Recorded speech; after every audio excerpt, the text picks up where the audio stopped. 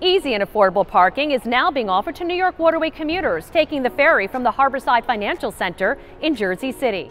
Monthly Harborside Ferry customers now receive 45% off monthly parking in a secure staffed parking lot conveniently located near the ferry. Harborside ferries go to and from Midtown and downtown during weekday rush hours.